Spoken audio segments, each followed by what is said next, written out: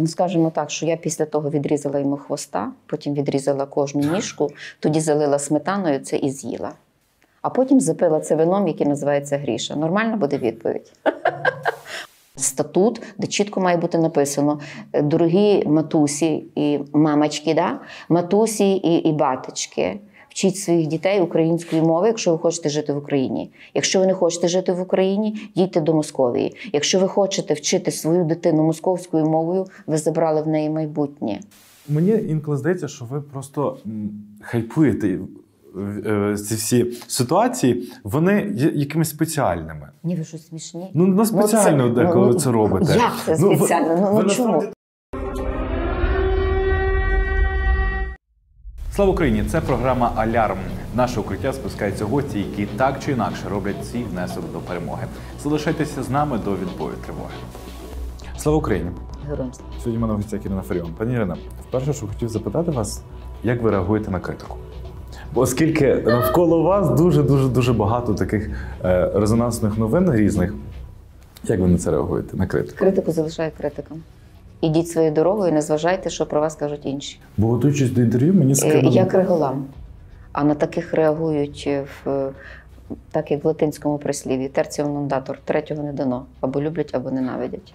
Це вже так якось повелося в моєму житті. Це такий характер і така мета. Я на це не зважаю. не можу не запитати про UA Animals. Запостили відео, де ви буцімто б'єте кота. Хоча там не видно, що ви б'єте кота на стрімі п'ятого каналу. Ну це треба подавати до суду. Але Буцімто. всі це обговорюють про, про те, що ну там звук чи ще там щось. Тому я хочу запитати, як ви до цього ставитеся, чи вдарили ви того кота, чи ні? Е, Ну, скажімо так, що я після того відрізала йому хвоста, потім відрізала кожну ніжку, тоді залила сметаною це і з'їла. А потім запила це вином, яке називається Гріша. Нормальна буде відповідь. Ось так я реагую на те, що роблять несповна розуму ідіоти. Якщо би не було війни, я би, звісно, подала до суду за наклеп. Але я не можу собі дозволити свій час віддати на ходіння по судах. Розумієте? У мене стільки роботи. Ідіоти ж не обговорюють моїх 160 програм величі особистості. Ідіоти ж не можуть обговорити моїх 105 програм гену українців.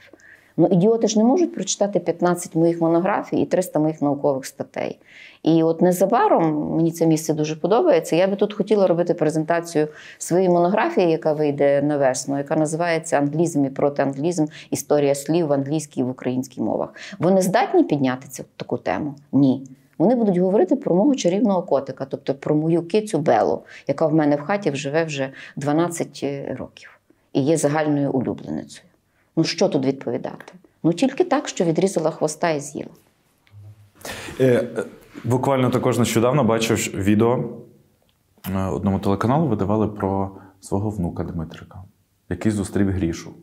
Також Так. це не було Ну так я, е, я зустрічаю Петю Федю е, на кожному кроці. Але скажу- там досить такі різкі висловлювання з приводу Мені плювати на них. На ці різкі випробування для мене важливе лише здоров'я кожного українця і кожної маленької дитини, яка має приходити в дитячий садок і має бути в абсолютно комфортному середовищі. Ось вчора я була при Дмитрикові. Так, він захворів. Це був мій день, день бабусі. І знаєте, яка основна проблема була? Я йому подарувала локомотивчик синьо-жовтий. І він питає мене: бабусю, це потяг, правда? Я кажу, так, Дмитрику, це потяг, але це не поїзд. Я кажу, а чому, Дмитрику, це не поїзд? Тому що москалі кажуть поїзд. Е, скажіть, будь ласка, як я маю дитині, доктор філологічних наук, трирічній дитині пояснити, що в українській мові є синоніми, і що, наприклад, поїзд і потяг це правильно. І так, і так. Сусюра каже, коли потяг удаль загуркоче, Донеччина, окупована тепер.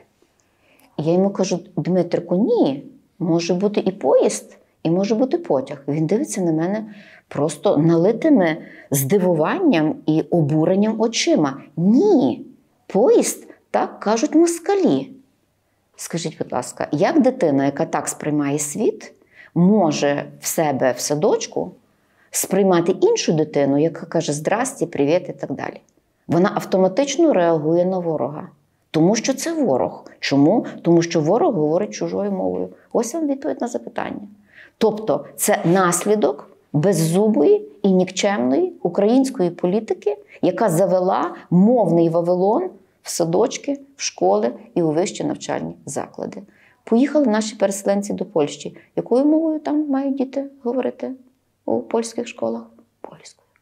То чому в моїй в групі моєї дитини в Україні, яка воює з ворогом, який вбив 450 дітей, щонайменше 5 тисяч дітей вивіз, моя дитина має це слухати. Чи довела я Дмитрику, що поїзд і потяг це синоніми? Я не взялася навіть доводити, а потім було ще гірше. Вімкни мені мультики, вмикаю. Я без окулярів не бачу. Вімкнула. Пішло москальським язиком. Він сам кричить: вимкни, вимикаємо, вмикаємо український мультик. Нарешті я вже взяла окуляри, і я вже пишу мультики українською мовою. Ютуб. Вас є діти? Ні, ні, поки що ні. Я вам бажаю, щоб, щоб вас були, щоб вас вже таких ситуацій не було. Щоб ви заходили в Ютуб і відразу бачили мультфільми українською мовою. Отже, я маю написати мультфільми українською мовою. Вімкнули. Пісенька українська. І там слово мамочка. Знову він ставить на паузу і так дивиться на мене. Мамочка? Ні. Мамуся. Я тоді йому кажу, Дмитрусику, ось дивися, Іриночка, Оксаночка, Наталочка. Опускає очка і слухає далі. Тобто в дитини дуже загострене філологічне чуття. Ну, очевидно, це генетично. Звідси відповідна реакція. Тобто ми маємо аналізувати не наслідок, ми маємо змінювати причину. Ми маємо категорично заходити у Верховну Раду і змінювати закон про що? Про освіту, зокрема про дошкільне виховання, статут, де чітко має бути написано: дорогі матусі і мамочки, да? матусі і, і батечки. Вчіть своїх дітей української мови, якщо ви хочете жити в Україні. Якщо ви не хочете жити в Україні, їдьте до Московії. Якщо ви хочете вчити свою дитину московською мовою, ви забрали в неї майбутнє. Розумієте? Остання соціологія на замовлення Київського інституту соціології свідчить про унікальну річ, що з огляду на нашу етнічну належність в Україні проживає 96% українців і лише 2% москалів. То чому в садочку має звучати російська мова? Якщо я, вас якщо я вас запитаю, то їм скажу, що їм потрібен час для того, щоб вони приїхали до Львова вивчити українську мову, ви скажете, де вони були раніше. Ну, Чому вже вчили скажіть, Україні, вони не вивчили українську За скільки часу папуга, папуга, якого ви можете тримати в кліторці, скаже вам слава Україні? По-моєму, всі папуги в Україні вже кажуть слава Україні і героям слава. Я колись це питання ставила е, прем'єр-міністру України. Ну я тоді сформулювала: ви розумово відсталий чи ви політично упереджений? Ну навіть на трибуні Верховної Ради Азаров сказав, що він буде учити е, українську мову чи міву, чи як він там сказав. Це я вже не пам'ятаю. Вони, е, в- натрапив на TikTok буквально декілька хвилин перед нашим записом і хотів його показати. Думаю, в- відео досить старе, але де ми були в цей час? Можете без окулярів просто послухати. Мой сыночек половину слов говорит на украинском, половину на русском. Вообще непонятно, на каком он языке после этого садика учиться будет. Думаешь, все на русском? Так он грамотным никогда не станет. Почему я не могу водить сына в русский садик? Я имею право говорить на родном языке. Будь ласка, отстояли право говорить на родном языке. прекрасно. Партія, Партія регіонів, регіонів так? 12 рік. Так. Де ми були Ось раніше? де ми були раніше. Е, Раніше це закон, який ухвалили у 2019 році, який не розв'язав цієї проблеми. Закон, який передбачив штрафи за порушення е, мовної поведінки з відтермінування у три роки. Ви десь бачили економічні закони, які ухвалюють, де є відтермінування набуття чинності закону. Тобто ми самі створили таку ситуацію, і ми тепер дивуємося, що адекватні діти дають адекватну реакцію. Ну, змінюйте закони. Скільки я кричала про те, що це є ліберально-гібридний закон, який насправді зажене нас в катастрофу. Які у нас території окуповані? Ті, де був русський язик, і руська література, і руська церква. Е, Пам'ятаєте, казав Бісмерк, е, там, де програв священник програв вчитель, приходить окупант. Там програв священник і вчитель. Щойно ці території повторно окуповані. Що роблять московити? Забирають українські підручники з української історії, з української літератури, палять їх і заводять підручники з історії Московії. Невже це людям ще не зрозуміло? Ми з вами сидимо ну, в унікальному приміщенні з дивовижними нашими валами з часів середньовіччя, напевно. Так? так от, якщо б ми мали ось такі могутні мури на духовному рівні, мури нашої культури, ніякий ворог би сюди не, не, не посунувся. Вони знали, куди вони йдуть. Вони йшли туди, де було ментальне підґрунтя їм пустити тут корінь. І вони реально змінили етнічну структуру Донбасу ще в 30-ті роки. Українців знищили, замордували голодом, частину вивезли, так як вони зараз вивозять, заселили кацапами. Ці кацапи народили своїх дітей, і от одна кацапота щойно в цьому ролику яскраво себе показала. Якщо вони так хочуть русского язика, які проблеми сіли на танк з літерою Z або V, вчіть, будете мати там русський язик. В Україні з русським язиком ви нічого вже не здобудете. Ви розумієте, те, що сталося з моїм внуком, це лише один е, сегмент в загальній історії. Це таких випадків тьма тьменна. Це означає, що за років п'ять це все будуть з того просто сміятися і казати: Господи, слава Богу, що ми перейшли вже через такий етап, е, що у нас екологія мови і в дитячих садочках, і в школах, і в вищих е, навчальних закладах. Так якось стається, що я випереджаю час, даруйте на років 10-20. І те, що сьогодні хтось вважає скандалом, за років 5 буде аксіомою.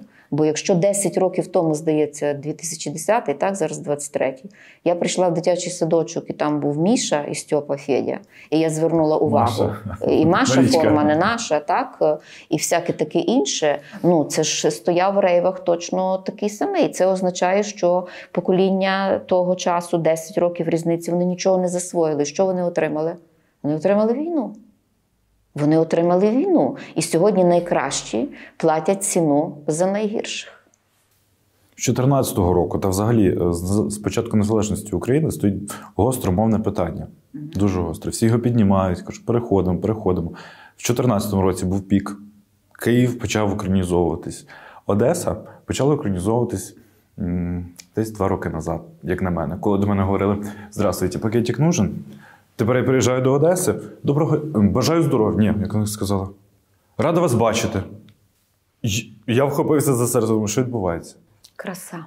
Вони переходять на українську. Чому цього було? Е, Коли буде ще один пік? Після перемоги? Будемо всі пік, говорити пік буде тоді, якщо ми відмовимося розуміти цю мову. Взагалі є різні форми реакції. Є форма бурхлива, наприклад, так як я реагую, так хоч я можу реагувати по-різному. Якщо до мене хтось звертається московською мовою, ні, ну чесно кажучи, коли мене бачать, то відразу забувають московську мову. Але якщо б хтось звернувся до мене московською мовою, ну я б е,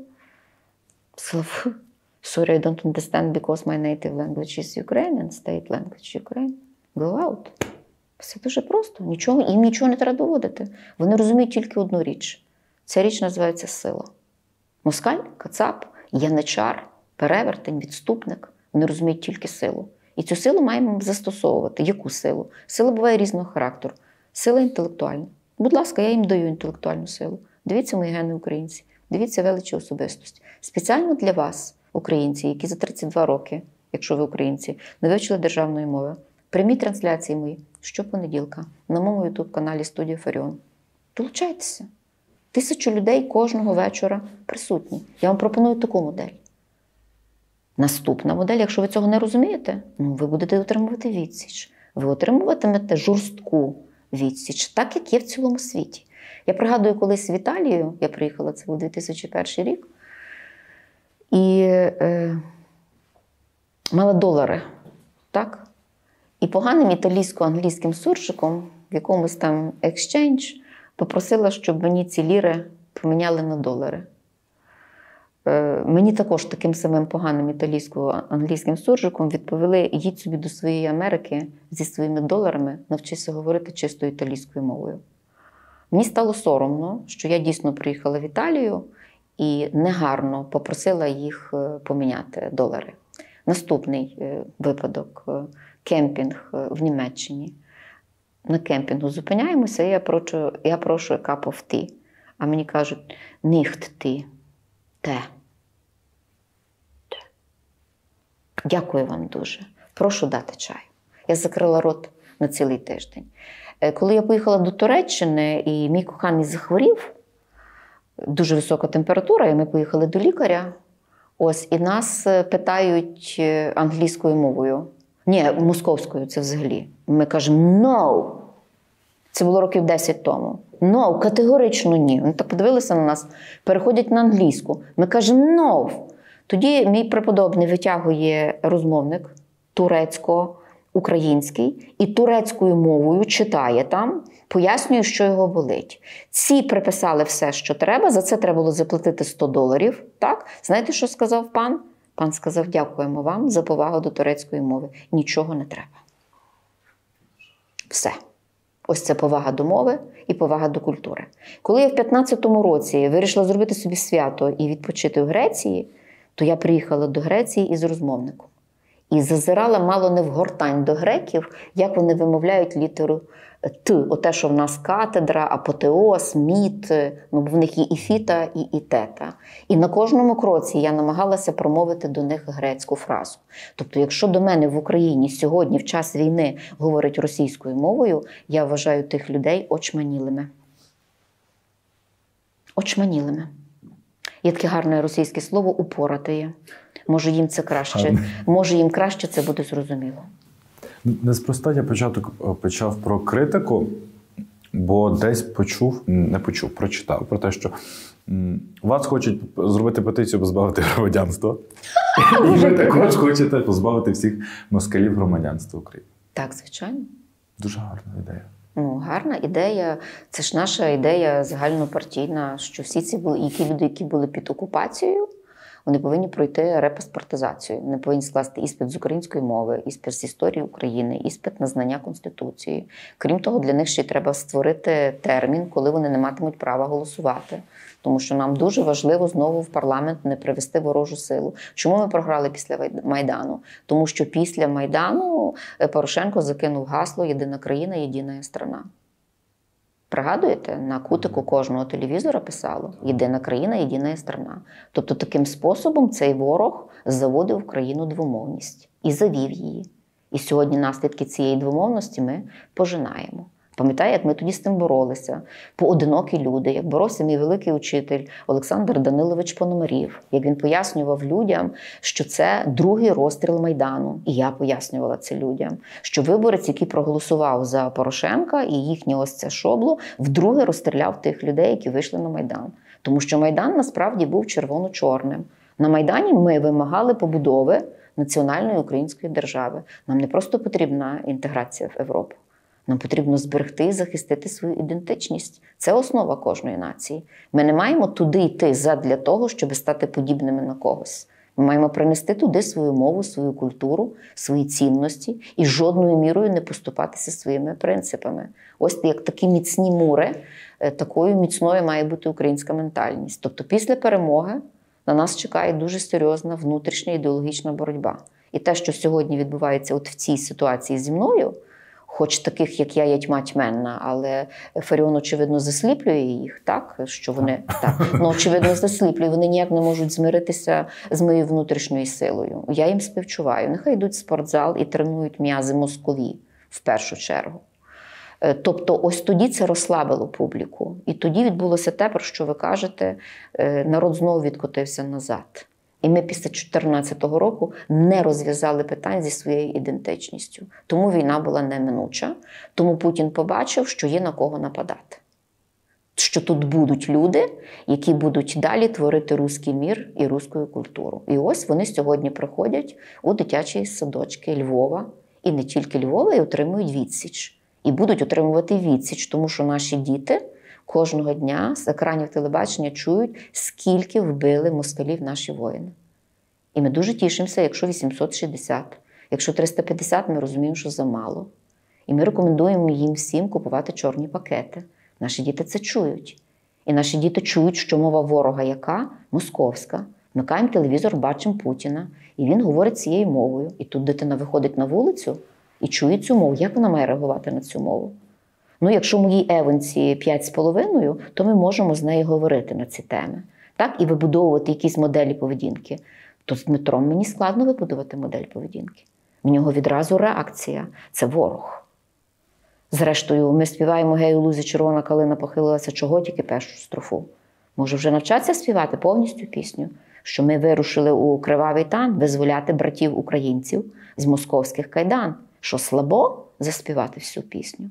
Це також свідчить про те, що ми не демонструємо внутрішньої сили, що ментально ми не є настільки сильні, щоб в цій війні перемогти швидше, ніж наразі є.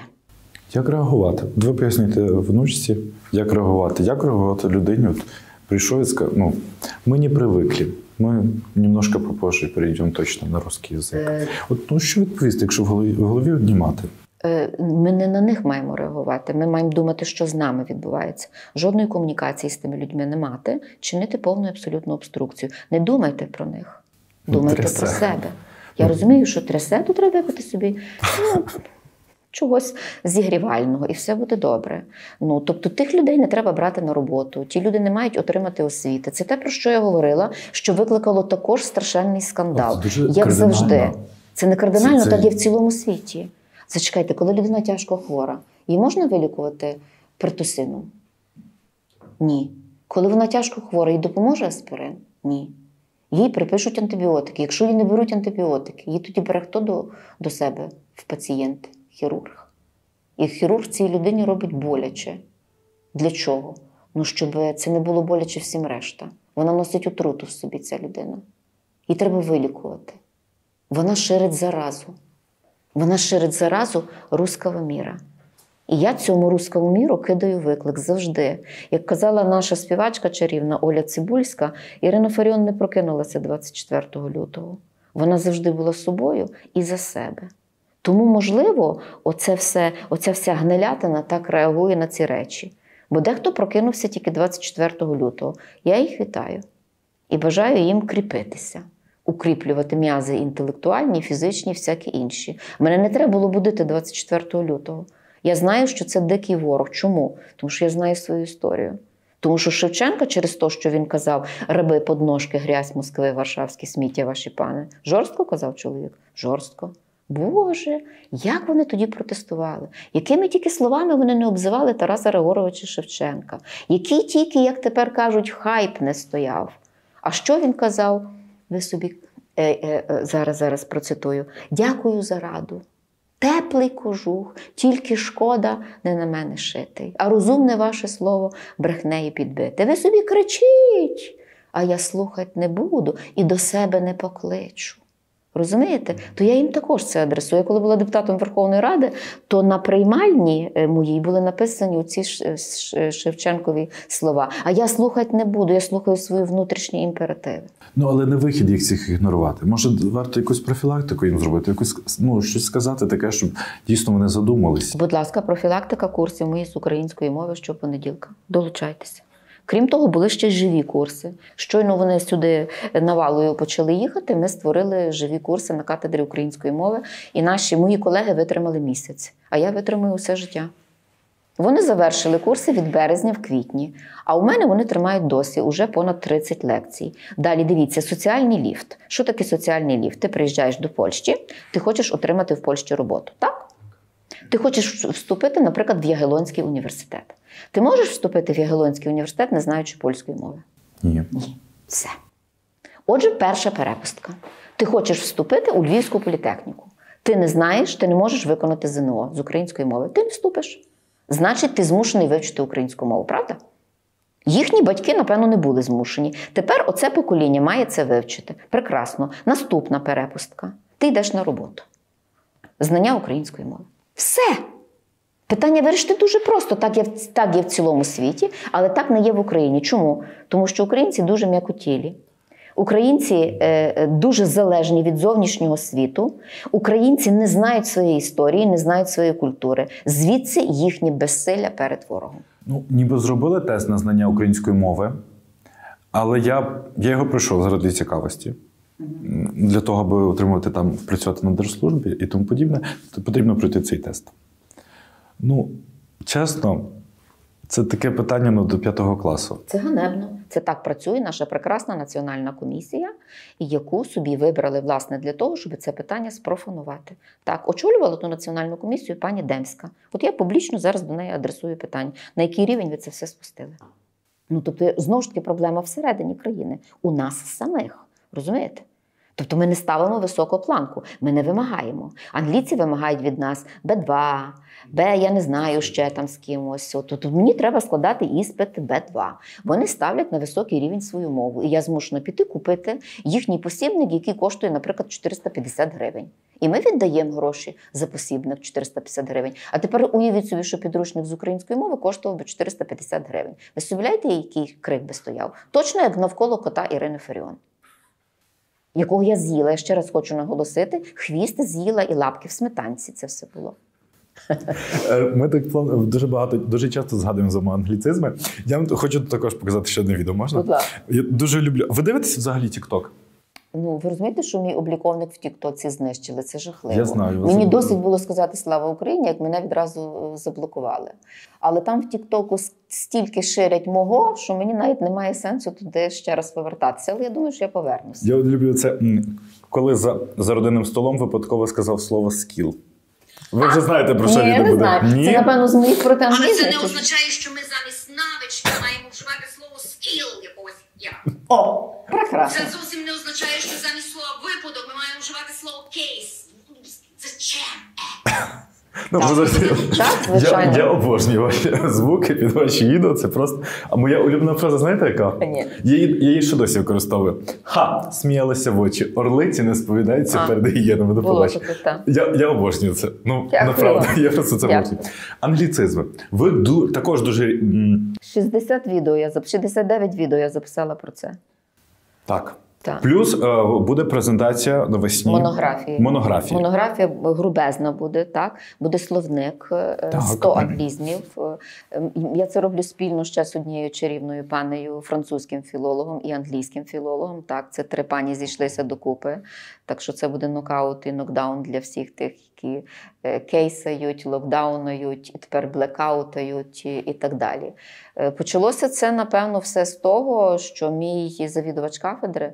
Геннадій Леонідович Вознюк, сонечко золоте. Він же зараз е, не завідує, але він, на відміну від мого дуже там експресивного характеру, так, дуже спокійний, але це означає, що всередині там вулканічні процеси. І ось я пам'ятаю епізод, я заходжу до нього на катедру, в нього так окуляри зсунені на кінчик носа, це означає, що його тріпає, просто тріпає. Тобто ніс не втримує окулярів.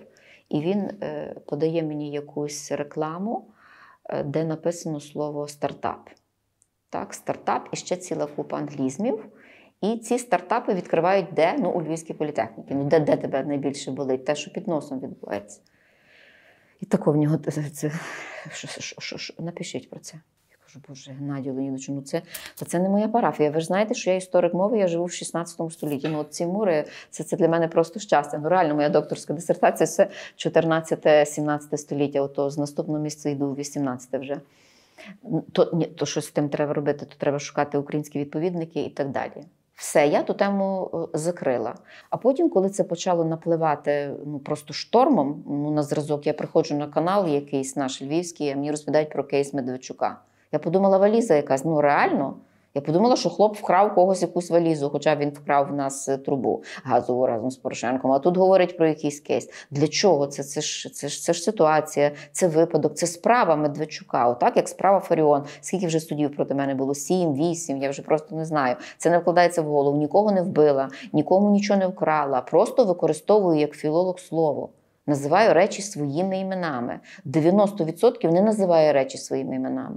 А це мій професійний обов'язок. Коли переді мною ворог, я кажу, що він ворог. Коли дегенерат, то я не кажу, що це генератор, а кажу, що це дегенерат, а це генератор і так далі. Ну так це ж зрозуміло, тому вони і вбивали письменників.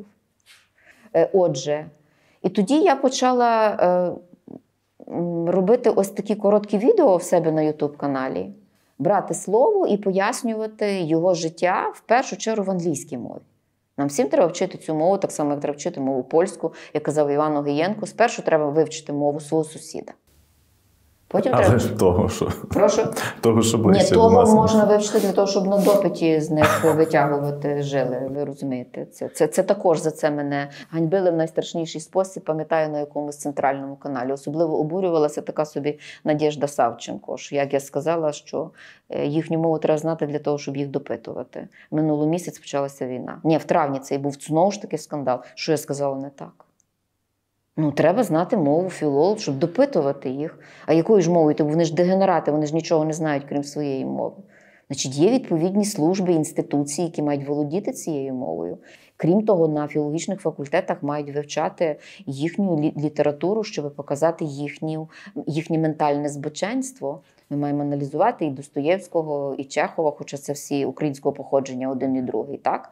Але це разом з тим не має ширитися на масового читача, бо масовий читач має загальний примітивний рівень, і він раптом стане полоненим цієї псевдокультури, що і сталося з нашим суспільством. Отже, це мають робити фахівці, пояснювати, аналізувати, випускати відповідні методички. Ну, пан Буданов про це знає. Це елементи розвідки і контррозвідки в ментальній площині, власне. Але я про англізми.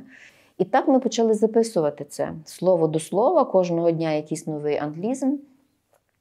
Тоді виникла ідея зробити е, цілу монографію, але показати життя слова в англійській мові, показати наскільки, наприклад, слово skill е, має там 9 значень, чи слово case має 9 значень, і як англійці е, на основі загально вживаного значення творять терміни. А що роблять українці? Українець каже, ні, це слово у нас таке має значення, термін треба запозичити. Розумієте? Тобто абсолютно хибний підхід. Тобто англійці собі з тим не створюють проблеми. Вони просто переосмислюють значення слова.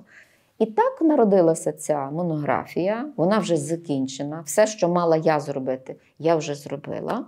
Е, Тепер пані, яка робить дизайн. Дизайн полягає в тому, шановний пане, що ми намалю... вона намалювала кожен англізм. Так. Тобто, це буде не просто писана книжка, це книжка буде мальована. Щоб українець дивився, наприклад, на англійське слово blackout і бачив його крізь сприйняття українця. Як українець намалював англійське слово blackout. Я вже хочу це побачити. Так. І це обов'язково буде чорно-біле, тому що 100 зображень. Розумієте, вона буде тоді дуже дорога, якщо це буде в кольорі. Спочатку ми робили в кольорі, тепер ми зробили це е, дуже витончена філософська і глибинна графіка. І до кожного такого зображення, наприклад, локдаун і блокаут, е, буде ще й філософський текст. Це, власне, пишеться чарівна пані, не відкриваю поки що її прізвища. І е, крім того, ця книжечка буде ще мати словник. Тобто, якщо люди не хочуть вникати в етимологію англізма, тобто ми ще маємо пояснити українцям, що означало первісно в, українсь... в англійській мові слово blackout. Це означало, що на білий папір хтось виливав щось чорне. Та первісне Ого. значення етимологія. Вилили чорне на білий папір і зачорнили його. І це почали називати словом blackout. Тобто воно зародилося в часи виникнення друкарства.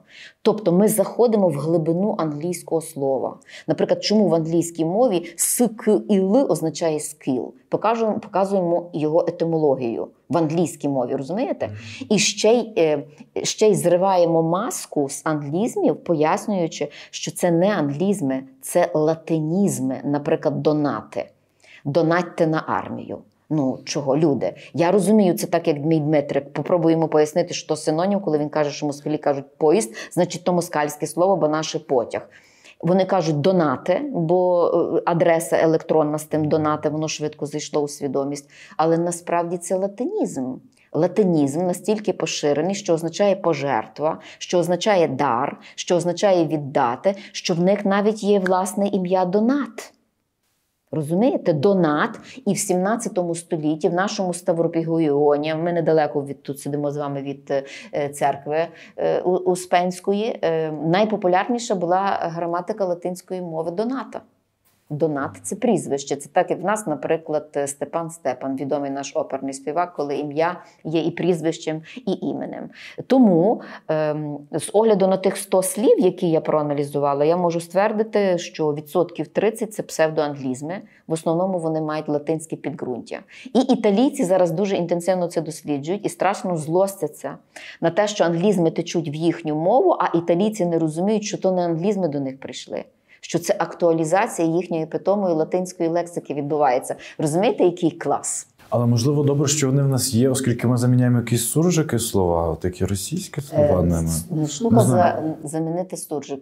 Штука не замінити російсько-український суржик англійсько-українським суржиком. Розумієте? Штука не змішувати. Ось ви мені тут чайочку дали, так? Питалися чи каву. Уявіть собі, я би вам сказала, дайте мені каву з чаєм. В одному горнятку. Ви би були здивовані. Ну так само з англійською і з українською. Є, напевно, ситуації, коли е, якийсь уживаний термін. Ну, ну мені навіть складно згадати. Ну, наприклад, оце банальний менеджер, так, яке ми запозичили вже дуже давно. Ну, але ж українською мовою це управлінець. Розумієте? І наше слово управа. І наше слово управління, то в чому справа? Я е, маю в тому семестрі мала чарівних е, економістів, якраз менеджерів, то ми з ними з того дуже сміялися. Якраз іспит вони будуть мати в лютому. Що перший підручник з управління народним господарством, так воно називалося, написав галичанин з якимсь німцем, так, і він називався управління народним господарством. А тепер це називається тільки менеджмент. Ну то ну, не можна вже так все викидувати своє. Я не можу задати зараз якісь. те- А, є, наприклад, троль. Так? О, це те, що пасеться, особливо на моїх сторінках. Я мушу, мусила закрити телеграм-канал, тому що послід е, дістав видно грошей, ніяк не може до кінця їх е, заробити. Отже, тролі це ми беремо свій синонім. Український відповідник біси, ті, які біснуються. Так. Е, До речі, тролі жили у підземеллях і вони гинули від світла. Нечиста сила також зникає, коли світло. Тобто це означає, що заводячи троль як е, в синонімний ряд, ми віддаємо дань скандинавській мітології. Так? І разом з тим ми відразу заходимо в їхній світ. Тобто, напевно, немає сенсу боротися з тим словом тролі. Але разом з тим, коли ви кажете, що в мене на сторінці біснуються або біси там, то це абсолютно відображає те, що насправді є. Тому що основне завдання біса це е, кинути людині позлітку, щоб вона на цю позлітку йшла, тоді її заманити у пропасть, у прірву, Е, як казав е, Донцов, болотяні вогні. Розумієте? Ось в вогні вогне, в болоті світиться вогник. Ти на нього йдеш, потрапляєш і гинеш. Кого ви дивитесь в Ютубі? За ким слідкуєте? Хто вам є цікавий? Ютубі? Чекайте, Боже, таке складне питання. Ну, Ну, по-перше, доволі я... просте, але дуже часто всі згадують. Я кого? Е, Я е, не маю на це часу. В мене стільки роботи, особливо тепер, коли е, війна. Ну, коли я бачу, як працюють наші воїни, знаю, скільки вони сплять, бо я з ними постійно на контакті, то я собі сама створила тепер такий турборежим, коли я одночасно пишу три монографії, проводжу цілу низку проєктів, то записую гени, то ще там щось. Що я, в принципі, не дивлюся нікого на Ютубі. Я можу проглядати новини, але в мене нема авторів, яких я можу. Ну, яких я можу ну, споглядати. Ні, я, ви запитайте мене, що я читаю, оце інша річ. Що ви читаєте оце. і що ви порадите прочитати? От три книги. Та, оце, що я читаю. Зараз я читаю, власне, дуже багато, і найбільше мене цікавить документальна література і мемуаристика. Мене цікавлять спогади великих людей, видатних людей. Мені набридли наші інтерпретатори. Інтерпретатори літературознавці, інтерпретатори історики, інтерпретатори ще якісь. Я хочу знати, як через серце проходили ці події. Е, Тобто, наприклад, коли я готувала студію про Льонгена Цегельського, який оголошував акт злуки на Софійському майдані, то я пішла по його спогади, які вийшли в Філадельфії. Я ошаліла від того, наскільки ця людина була глибочезна. І разом з тим сьогодні він, напевно, був би моїм опонентом, бо це нацдемівський напрям. Так. Ну, це щось таке кава з молоком. Я такого методу не приймаю. І, можливо, через те на мене так різко реагують, то це не моя проблема, а їхня. Абсолютно взагалі, який я стосунок до цього всього маю. Коли їх це так збуджує, хай п'ють заспокійливе, коли чують прізвище Фаріон. Е, наприклад, е, зараз я просто не можу, я не, не можу вам передати, в якому я шаленому захопленні, що я відкрила для себе дивовижну постать української письменниці, вся спадщина якої була зумисне вилучена в 53-му році Катря Гриневичева.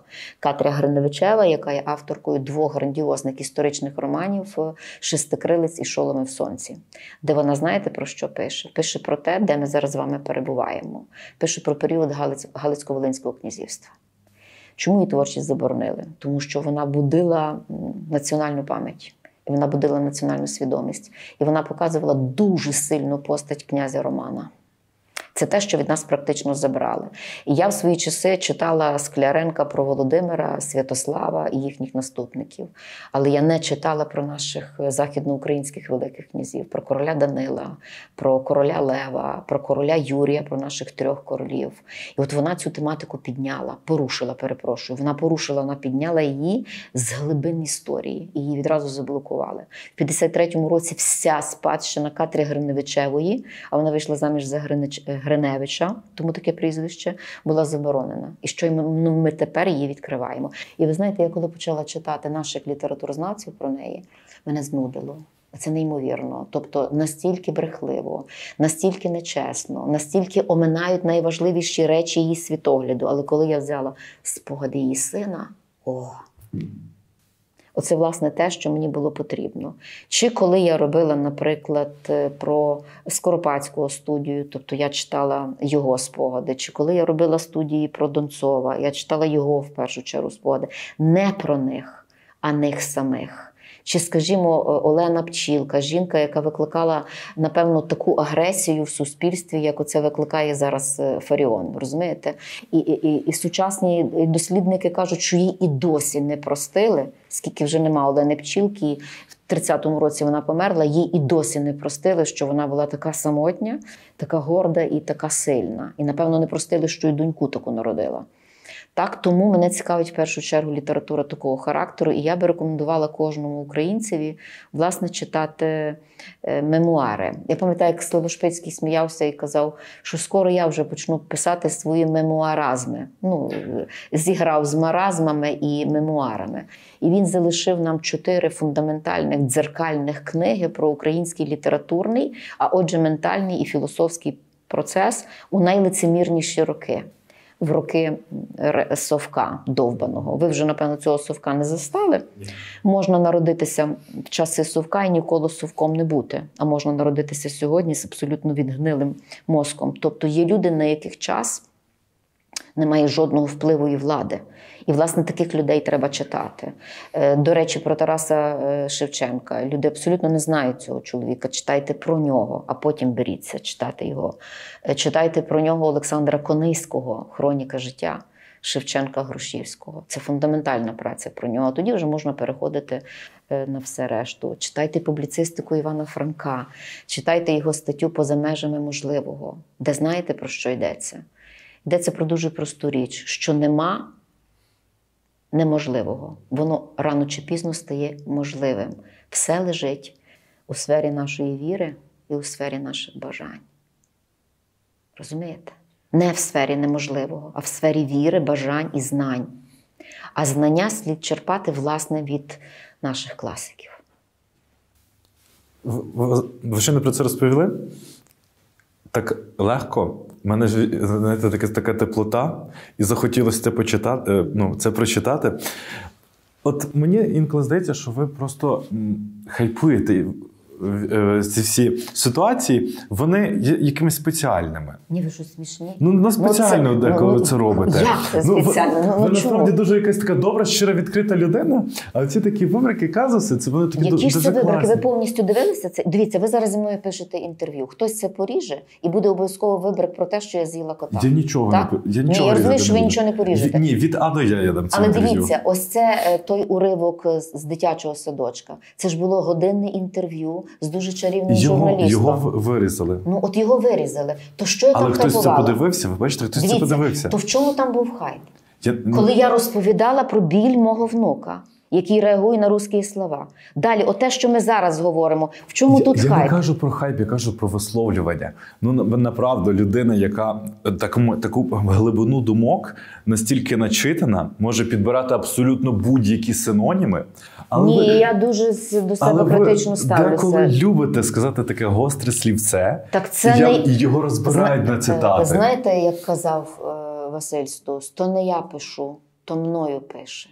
Ну, То не я говорю, то мною говорить. І, і Юрій Герасимович Іллєнко казав: слухайте, мене от зараз понесе. Це не спинно, це так, як в Тараса Григоровича, реве та стогне Дніпр широкий. Маєте один, ви кажете, добра і всяке таке інше. Візьміть Тарасика Григоровича вражою, злою, кров'ю, волю, окропіти. Опа. Нокаут повний, правда? Капець. Вражою злою кров'ю волю окропіти. Пригадую, запрошують мене побратими прочитати лекцію про Тараса Шевченка. Яку дамо тему? Я кажу, вражою злою. Ні. Я кажу, що значить ні? Йой, то так звучить вражою злою. Я кажу, як ви хочете? Обнімітися, брати мої? З ким хочете обніматися? З Януковичем? З Тигіпком? З Ганєю Герман? Ви розумієте, що ми живемо в час е, в час страшних антагонізмів, де чітко треба ворога, ворога треба знищити. Ворога треба вбити. Не можна домовлятися з ворогом. Коли прийшов до хати гвалтівник, ти його запрошуєш на чай? Ні, його треба вбити. Отже, маємо Шевченка, вражою злою кров'ю, волю укропіти, я полину до Бога, коли кров ворожа потече у ріки. І маємо друге Шевченка. Садок вишневий коло хати, хрущі над вишнями гудуть, плугатирі з плугами йдуть.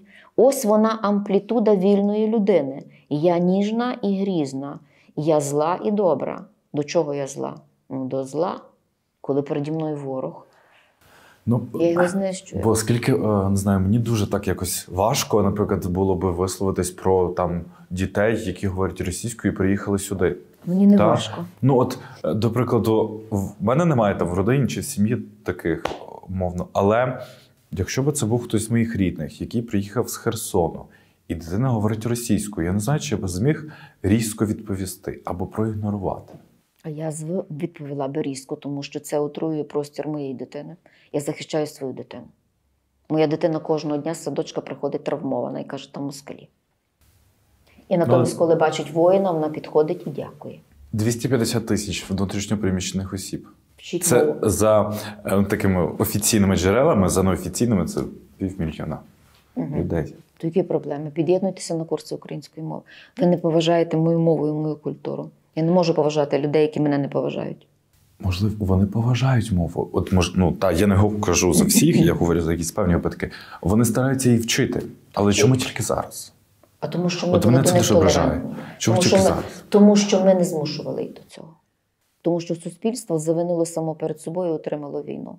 От поляки змусять вивчити їхню мову відразу, без жодних ефемізмів. А ми створювали можливості для укріплення ворога всередині країни. Якщо у нас в парламенті звучала московська мова, і хто перший в парламенті змусив говорити українською мовою? Істота, яка сидить перед вами, яка їсть котів. На комітеті з питань освіти і науки комуніст на прізвище Зубчевський почав говорити російською мовою. Я почала вимагати, аби мені привели перекладача, бо я не розумію. Якщо мені не, перекладу, не приведуть перекладача, я буду читати розриту могилу Тараса Шевченка. Або повторювати фразу вражою злою кров'ю волю окропіти. Переклали. Що було далі? Далі він подав до суду на мене. Я його назвала як виродком. А як я маю назвати ідіота, який сидить в парламенті і говорить до мене мовою ворога? Для мене це завжди була мова ворога. Я назвала його виродком. Почався суд 2013 рік. Де суд? В Запоріжжі, яке зараз окуповане. Ну, слава Богу, місто ні. Певна частина Бердянськ, е, Генічеськ, Мелітополь, наш святий Мелітополь. Чому для мене це святий? Тому що це місто Донцова Дмитра, який приїхав сюди до Львова вчити львів'ян націоналізму. Що було далі з тим Зубчевським? Суд відбувається де? У Львові. На якій вулиці? Прекрасній вулиці, Січових стрільців. Що присуджує суд Ірині Фаріон? Що вимагає від мене Зубчевський за те, що я його назвала виродком? Зубчевський вимагає від мене 200 тисяч морального відшкодування. Що я кажу про те? Дякую Зубчевському за те, що я тепер знаю, що слово виродок коштує 200 тисяч. Я не знала. Можливо, треба видати словник і біля кожного українського слова написати ціну. Чим це закінчилося? Можна я завершу то? Чим це закінчилося? Закінчилося тим, що суд присудив мені заплатити не 200 тисяч, а 20 тисяч, відшкодувавши Зубчевському моральні збитки. Що сказав Зубчевський на це? Зубчевський сказав, що 20 тисяч гривень, які мені присудив Львівський суд, він скерує на розвиток російськомовних шкіл. Ви не плюнули йому в лице? Ні, мене тоді не було. Ходив замість мене мій адвокат е, е, е, Назар Павлюк. Чим це все закінчилося? Закінчилося тим, що ми подали апеляцію. Апеляцію ми програли. Тоді ми подали касацію. Касація це вже остання інстанція, так? Ми подали касацію. Касація цю справу повернула назад сюди до Львова. Що було далі? Далі почався Майдан. Ось вам відповідь на те, як одне українське слово може збурити ціле українське суспільство. Сила слова. Тобто сила слова в руках дуже сильної людини. Е, Про що я говорю? Про те, що ви ну просто нас- нас- наскільки сильна особистість, що ви сказали виродок, це всі запам'ятають. Я не пам'ятаю це вир, вир, е, цей уривок, розумієте? А далі, от е, судячи там по мені і багатьом людям, вони ж не знають, яка була далі історія. Вони чомусь звинуватили вас, що ви сказали там умовно. Я не кажу, Що що я всі. назвала його виродком. Так, що ви назвали, як ви такого допускаєтесь, і тому і хвиля цього самого хейту, так? І а продовження, чому він це зробив? Як людина, яка сидить в Верховній Раді, спілкується російською мовою? Ну зрозуміло, чому пояснюю? Ну Тому що е, люди не пов'я... не хочуть думати над причиною і наслідком. Про що Вони, вони, вони дуже примітивні, вони живуть як комашки. Ну, я ж сказала, орлиці не сповідаються перед гієнами, так? З чого живиться гієна? Гієна живиться з мертвої інфи, мертвої інформації. Нікому не потрібної, гнилої, ну, нікчемної інформації. Так само тут. Вони не пов'язують причину з наслідком і аналізують наслідок, отак як ситуація з моїм Дмитриком. Це наслідок нікчемної української мовної політики. І я знала, що це так буде, тому що в такі ситуації потрапляла величезна кількість людей, але ця величезна кількість людей не є публічні, тому не було крику такого. І тому дуже добре, що зараз воно вийшло на такий серйозний рівень. І я буду звертатися до пана Кременя, щоб він зробив е, експертизу тут у львівських школах, щоб українські діти перестали страждати, і щоб українські діти в часи війни не чули московського язика, бо кожен з них стане воїном тоді з допомогою інших засобів. Е, Тому є найосновніший закон це не конституція. Конституцію можна переписувати і міняти. Це тільки американці, здається, не міняють від 18 століття. А в нас кожен президент приходить відразу хоче переписувати конституції. Найосновніший закон він називається нашою латинською мовою, вибачте, не нашою латинською, але ми пристосували це слово детермінізм, тобто причина і наслідок. Ем, У східній культурі це називається карма. Якщо ти щось неправильно зробив, ти обов'язково будеш за це відповідати. Ось так само є в нашому суспільстві. Ми комуністів завели в парламент. Ми після Майдану в парламент завели знову партію регіонів, яка назвала себе ОПЗЖ. Так? І ми досі не можемо їх з парламенту викорити. Ми завели у наші храми, у наші церкви московський патріархат. Я пам'ятаю, як робили скандал з того, що Фаріон сказала, що московський патріархат це ФСБ, це підрозділ Федеральної служби безпеки. Я пам'ятаю цього журналіста з Київського каналу, як він дивився на мене божевільними очима і казав, як ви можете їх так називати. Він далі це говорить. Коли Епіфаній вже відправив ну, кадилом чортів е, із Успенського собору Києво-Печерської лаври вигнав, а тепер на черзі Почаївська лавра. І коли мій побратим, голова Тернопільської обласної ради Михайло Головко збирає тисячі підписів е, вірян, щоб викорити чортів із Почаєва, а Почаєв належав Василянам, тобто греко-католикам. То реакції немає. Коли моя посестра Оксана Савчук заносить у Верховну Раду в березні, в березні, найстрашніші дні війни, в березні заносить законопроєкт про заборону московського патріархату п'ять найважливіших кроків: тиша, мертва. То аж треба це робити тепер, коли московські попи скільки навели на наших е, людей московські ракети. А тепер про московські школи у Львові це окрема тема. Вже немає, слава Богу. Вже декілька Але років коли немає. та не ні, ви знаєте, коли закрили російськомовні класи? У вересні. У вересні. Цього року. Так. Ну, тобто минулого, 22-го. Угу. У вересні. Але в нас було е, зараз. У нас було шість російських На князя шкіл. Романа була. Її вже давно звичайно. зробили. Її вже давно це. Але в нас були російськомовні класи. Ви розумієте, Були. що таке, коли на коридорі, от я уявляю собі свого Дмитра, який виходить з класу, де було навчання української мови, він виходить в коридор і чує українську мову. Ви уявляєте, що це відбувається? Ворог ходить по коридору, ворог, який тебе принижує, який тебе цькує, який бомбить тебе, який стирає з лиця землі українські міста. І українська держава своїм коштом вчить його і створює для нього можливості створювати тут, вибачте, за тавтологію, свої секти. Ну, зачекайте, перший суд проти мене. Як я взяла взагалі, нафіга мені ця політика, так? От нафіга мені це желізко, скажіть. От, от є такий анекдот навіть. Ну як, дивіться, я проводжу пару. Ну е, так, дивіться, ні, як просто це відбувалося. Організовую я проєкт з архітекторами. Намалюй мову. Чого? Ну як можна творчу людину е, вчити ставити кому і тере, тож застрелитися? Їм то не цікаво, так? Їм треба показати, що мова це життя, мова це піротехніка, мова це феєрія, мова це емоції, мова це експресія, мова це ти читаєш вірш і плачеш. Мова, ти, ти освічуєшся дивовижною лексикою своїй коханій, а не ну, банально це робиш. Мова це свято. От так треба подати це не філологам.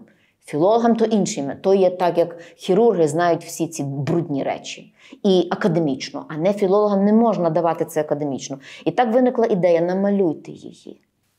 А чому ця ідея виникла? Тому що я сіла в маршрутку. Це був 1998 рік. Я з минулого тисячоліття, я древня. Не така, як ці мури, так? Але я древня, я з минулого тисячоліття. Я сіла в маршрутку, а там звучить москальська музика. 1998 рік. І знову ж таки, тільки недавно відмінили російську мову. А хто був автором заборони української музики в маршрутках Фаріон? І що їй казали? Такий самий крик стояв. І казали, що її треба засудити, тому що вона порушує права рускоязичного населення. Слухайте, мені так смішно з них, з тих плазунів. Але я не про ну, хай повзають. Я навіть не хочу їх розчавити, тому що мені шкода свого мешта. Але я повертаюся до цієї теми з маршруткою.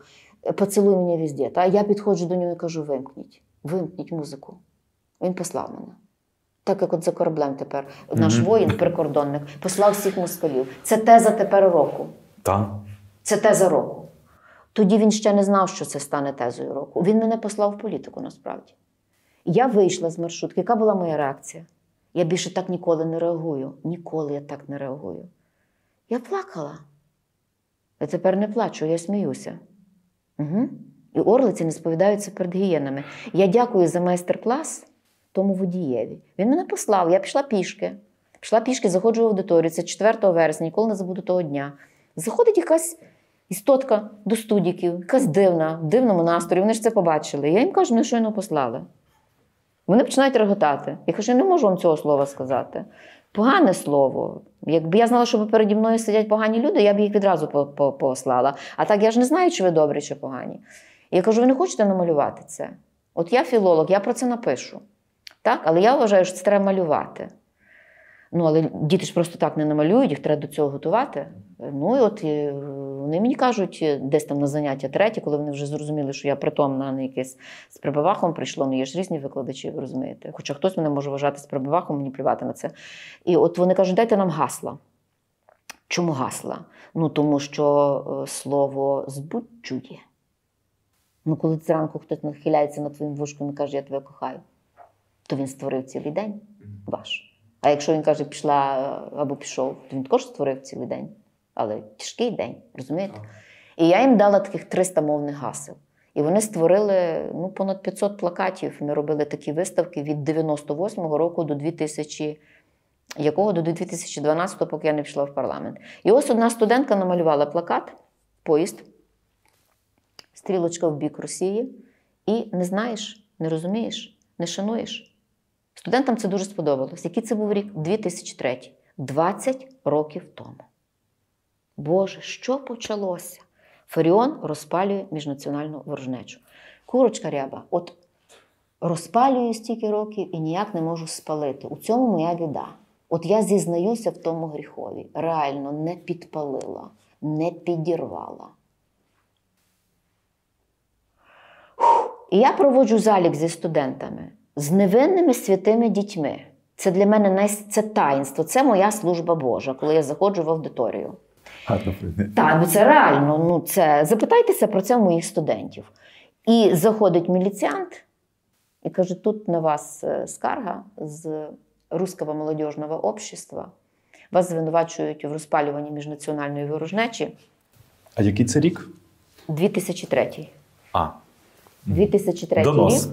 Е, 2003 так, тут рік. е, е, Медведчук, е, брат Медведчука очолює податкову, і в обласній раді абсолютну більшість мають СДЕКи. Тобто Львів повністю ліг під соціал-демократів. А це нагадаю Медведчук, е, Порошенко, е, Суркіси. Оце все, оце все, все. Оце ні рибу, ні м'єсо, але тільки не Україна, все, що завгодно, всього-навсього бізнес і пойло. Е, Отже, я розпалюю міжнаціональну ворожнечу. Хто автор цього? Автор студент історичного факультету університету Франка на прізвище Арбатов, щирий українець у місті Львові. Арбатов. Арбатов, очільник Руського молодіжного общества у Львові, центр якого біля просвіти, там, де зараз будинок воїна, який колись був осідком цього Руського молодіжного общества. Це треба було, аби минуло 20 років, щоб Руське молодіжне общество звітам викорили. Тодішній головний міліціонер Львова з дуже романтичним прізвищем Курочка. На превелике щастя, йому вистачило мозку е, не розкручувати далі цю справу і кримінальної справи не відкрили, хоча намагалися це зробити. З цього все і почалося. Ну, але натомість є плакати моїх студентів, які випередили час на 20 років. Чемодан вокзал. Знаєте, мені Так, теж ви так. сказали про потяг, чемодан Так. вокзал Е, Росія. Авторка цього плакату Юля Пєцух, вона зараз відома, е, відома е, архітектор, тут має свою фірму, наскільки мені відомо. Давно я вже її не бачила. Е, І вона розповідала, як це сталося. Вона прийшла до хати і каже: ну, таке завдання нам викладачка дала. У нас в цікавий спосіб відбувається українська мова, ми малюємо на українській мові. І що? Та сказала намалювати мову, а тато смаже яйця. Каже, так які проблеми? Ну, кажу, ці москалі, ото москальська мова, вона нам про то весь час говорить. Так які проблеми? Намалюємо вагончик і пиляють звідси. Дитина пішла в спальню та сіла і намалювала. І це викликало такий шалений скандал, і з того все і почалося. І ось воно досі так триває. Гарно. Ви дивитесь фільми? Ой, я вам Вас дуже. Ні, ні, я ви знаєте, я, я такий подивилася фільм. Це таке чудо. Я подивилася Щедрик кілька днів тому. Це неймовірно. Після нашого інтерв'ю на Щедрика. Боже, серйозно. Ой, я, я, я, я, я вам бажаю. Я, я, це, це, це дивовижно, це неймовірно. всі в захваті, кого не запитають, всі в Це неймовірно. Але найосновніше в тому фільмі, я не хочу вам відкривати, не буду вживати англійське слово спойлер. Я про нього зробила окрему студію, так? Але там є, е, ну, можна одне. Там є найсвятіша фраза, виголошена найтихіше, і в цьому сіль цього фільму. Слава Україні! Ви зрозумієте, що це таке? Це дивовижно, це дивовижна гра акторів, це дивовижний сюжет, це історія, яка проходить через серце людини. Знаєте, хто так пише? Сьогодні ви питали мене, що читати. Так пише Володимир Лис. От, наприклад, століття Якова і інші його твори. Ось він такі історичні катаклізми, а це так. Це катаклізми. Він проводить не через постаті, наприклад, Степана Бандери, Романа Шухевича, це все надзвичайно важливо. А він проводить через долі звичайних людей. І ці звичайні люди виростають до людей велетів і людей героїв. Сьогодні ці звичайні люди тримають фортецю Бахмут. Ще скажіть, будь ласка, я так вже про музику ще. Виконавці. Кого слухаєте? Ну, слухають мої діти і мої внуки. А ви? Е, е, Я слухаю те, що вже вони слухають, а вони слухають е, горить техніка ворожа, і Байрактар, і Чорнобаївка разом навіть з тим словом, яке неможливо другим вимовити, римується добре. Вони це слухають, слухають. В машині, як їдуть, є спеціальний диск, е, зродились ми великої години і так далі. Е, Це дуже важливо. Я однолюбка. Я слухаю, коли мені треба очиститися або зарядитися, бо я не можу спокійно їх слухати. Я оце реву. Коли їх слухаю, я плачу. Я плачу, складаю руки і дякую. Це Андрій Середа, група е, Кому вниз. Яка пісня? А, всі. Всі. Ну, наприклад, Ліра. Е, Я хотіла, щоб моя донечка свій шлюбний танець під ліру танцювала, але вони танцювали щось інше. Але я танцювала під ліру. Так, е, ну, розрита могила суботів е, до Основ'яненка, вийде змучена людьми. Все, що робить Андрій і його група, це, це монументально. А те, що роблять сучасні наші молоді, це, це неймовірно. Я би дуже хотіла, щоб це не було модою швидкоплинною. Я би хотіла, щоб це була глибина світогляду. Розумієте? Щоб це випливало не з ситуативної потреби, щоб схопити собі популярність, щоб це було переконанням. Бо коли я бачу, що якась там е, полякова, яка палить свій кокошник, насправді має його довічно в своїй голові, то цього я категорично не сприймаю. Тут або вже краще замовкнути і дати раду зі своїм внутрішнім світом, але не грати. Ну, Андрій не грав коли створював свій гурт, він мій ровесник, значить, він той гурт, напевно, створив десь 30 років тому. Це важкий рок на слова Шевченка. Розумієте, що це таке? Е, Хоча Шевченка переспівало і багато інших людей. От тому, крім того, я ще й прихильниця того, що не можна під музику щось робити. Музику треба слухати і віддаватися, тому що це велика праця. Це енергія, яку людина віддає. Я коли чую середу, я не буду нарізувати бульбу і варити борщ. Я собі сяду, послухаю і подякую. Хоч може бути і розслабон, музика такого характеру, вона також має бути. Але чи тоді я про таку музику говорю? Ні, така вона мене не зачіпає, як водичку попила і пішла. А є музика, яка вітамін, яка тебе оздоровлює, яка вибудовує вертикаль. І ти після цієї музики йдеш у бій. Що ж, на цій ноті я дякую вам. Ірина Фаріон, дякую. Дякую. вам.